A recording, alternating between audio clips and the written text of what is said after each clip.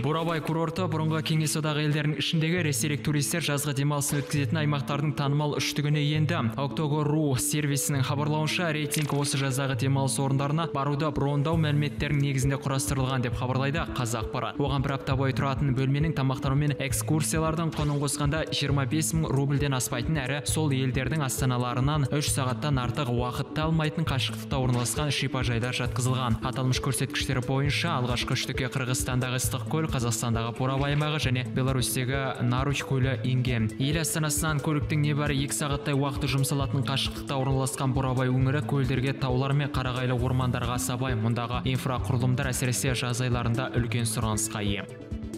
Алматы қаласы кедендік бақылау департаменті ағымдағы жылдың алғашқы жарты жылдығында атқарылған жұмыстарын қорытындылады. Бұл туралы бейнеуз kz алматы қаласы кедендік бақылау департаментіне сілтеме жасап хабарлайды. Қазақстанға енгізілетін тауарлардың 24 пайызы алматы қаласына тиесілі. Импорттық операциялар бойынша қаладағы белсенді бизнес құрылымдардың жалпы сыртқы сауда айналымы алыс және таяу шетелдің 160-қа тарта елін қамтиды. Алматы қаласы бойынша кедендік бақылау департаментінің мәліметтеріне сәйкес импорттық тауар айналымының жалпы көлемі 4 миллиард 961 миллион ақш долларын құрайды. Сексен елмен жүзеге асқан экспорттық операциялар бойынша тауар айналымы 1 миллиард 310 миллион ақш долларына теңесті. Өткен жұмада астананың сауда нүктелерінде көкөніс өнімдерінің кейбір түрлері арзандаған. Бұл туралы бақ сайты қазагро маркетинг акционерлік қоғамына сілтеме жасап хабарлады. Жүргізілетін баға мониторингісіне сәйкес еліміздің оңтүстік аймақтарында жаппай картоп сорттарының жиналуына байланысты оның бағасы 28 пайызға және қызанақтың бағасы 23,6 пайызға қиярдың құны 21,5 пайызға арзандаған. Сондай ақ отандық өндірушілер нарықты ерте піскен орам жапырақпен толтыруда. Нәтижесінде оның бағасы 47 пайызға төмендеген.